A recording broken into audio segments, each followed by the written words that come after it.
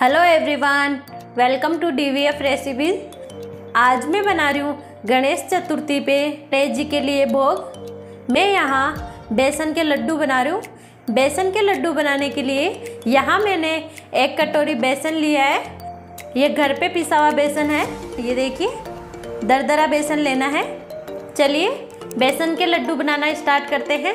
लड्डू बनाने के लिए यहाँ मैंने एक कढ़ाई ले लिए इसमें डालेंगे देसी घी। लगभग एक बड़ा चम्मच देसी घी डाला है। घी को गर्म होने देंगे। ये देखिए, घी गर्म हो गया है। अब इसमें डाल रही हूँ बेसन।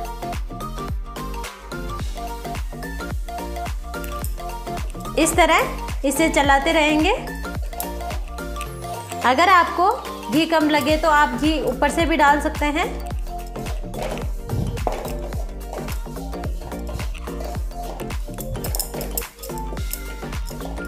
इसमें थोड़ा घी और डालेंगे। लगभग टू टेबल स्पून घी और डालेंगे। इसे भी मिक्स कर लेंगे।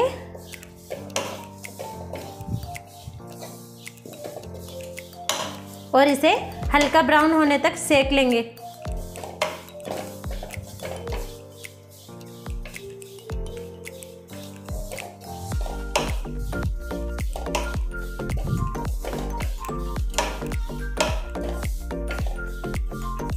ये देखिए, ये हल्का ब्राउन होने लग गया है।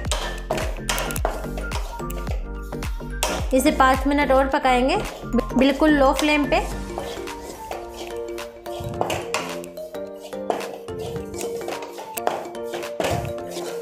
बेसन का कलर चेंज हो गया है, ये अच्छे से सीख गया है। अब इसमें डाल रही हूँ मैं दूध।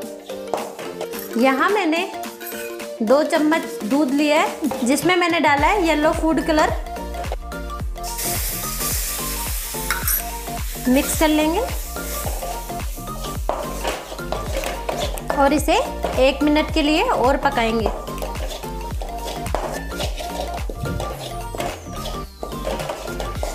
एक मिनट हो गए हैं। फ्लेम को ऑफ़ कर देंगे।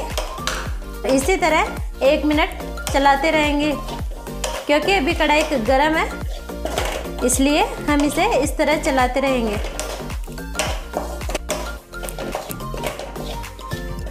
अब इसे एक प्लेट में निकाल लेंगे और 10 मिनट के लिए इसे ठंडा होने देंगे। ये देखिए, मैंने इसे प्लेट में निकाल लिया है। अब इसे ठंडा होने देंगे। जब तक ये ठंडा होता है, तब तक इसके लिए चीनी पीस के तैयार कर लेते हैं। चीनी का टेस्ट काफ़ी अच्छा आता है, इसलिए मैं इसमें चीनी डालती हूँ। ये देखिए, यहाँ मैंने चीनी को पीस लिया है।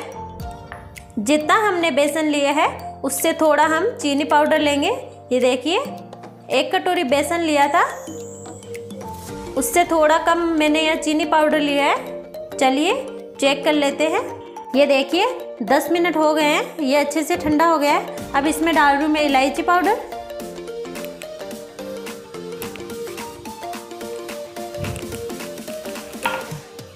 मिक्स करेंगे।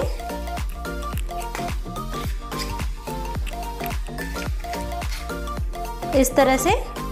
अब इसमें डाल मैं चीनी पाउडर। इसे भी मिक्स करेंगे इस तरह से।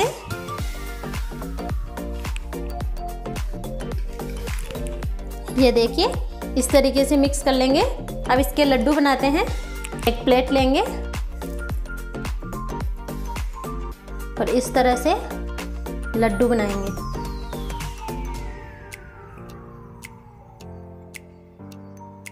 ये देखिए।